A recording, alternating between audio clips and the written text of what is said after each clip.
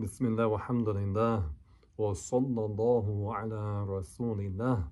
This is Abu Aqiq and Face to Floor. Uh, inshallah ta'ala, we're going to continue today with another short lesson talking about the attributes of Allah. Now, so far we've mentioned that uh, we mentioned three of the attributes of Allah. We mentioned uh, existence, oneness, and eternality. By existence, we mean that certainly the there must be a creator.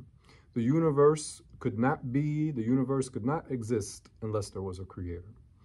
Uh, because we know that the universe could not be beginningless and it could not have created itself. And we explained this some in the first lesson on the attributes of Allah Ta'ala. And then we mentioned that Allah is one, that there's only one God, there's only one creator. And that when we say that God is one, we actually mean it in three senses. One, as we just said, that God is without a partner, that there's no creator except Allah. Also, with the meaning in the sense that Allah is unique without any similar. And then in the third sense, Allah Ta'ala is without parts. Allah is indivisible, meaning non-dividable. Meaning one meaning that God, Allah's Godhood is not shared among the creations. No one is the creator except Allah, as we mentioned. And also that Allah is not made up of parts or pieces or dimensions. Allah is clear of the characteristics of bodies, because bodies by necessity, they have parts and dimensionality to them, and Allah is clear of that.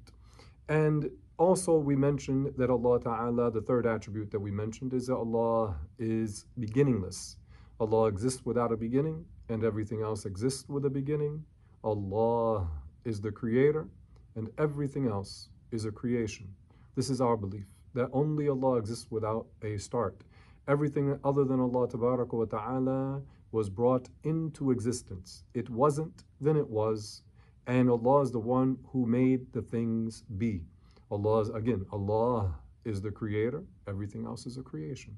Whether it be light or darkness, time or space, distance or direction, the earth or outer space, or the heavens or paradise, all of these things are created by Allah. And Allah is the only one who exists without a beginning. All those other matters that we mentioned, everything else is originated. So now the fourth of the attributes that we will mention, God willing, is the attribute of everlastingness. Allah revealed in the Quran, Allahu la ilaha illa huwa al qayyum, which means that Allah, there is no God, no creator other than Him, and that Allah is al-hayy, al-hayy, the alive, and al-qayyum, among the meanings of Al-Qayyum, it means the everlasting. And inshallah, next lesson we'll mention another meaning for the name of Allah, Al-Qayyum. So Allah's existence is beginningless, and Allah's existence is everlasting. Allah's existence is not related to time. So it's not like us, we weren't, then we were, meaning we were non existent. Allah brought us into existence. And then from the moment we started to exist, then something else happened with us. We also what started to age. We passed through time. The earth has an age. I have an age. The building I'm sitting in has an age. The city I am in has an age. The ocean has an age. The sun, etc., etc., etc. All of these things which have a beginning have an age. Now, whether we know the age of it or not, that's different. But we know it has an age, even if we don't know the exact age of that thing, of that creation. Allah is, is not a is not something with an age. Allah has no beginning and Allah has no end. So Allah's existence is not something that could potentially cease.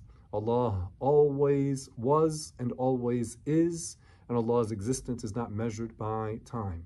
So with that said, be clear that when we say, for instance, about some of the creations, operative word here, creations, that some of the creations, they, these are things that have a beginning, some of the creations are everlasting. They have a start to their existence.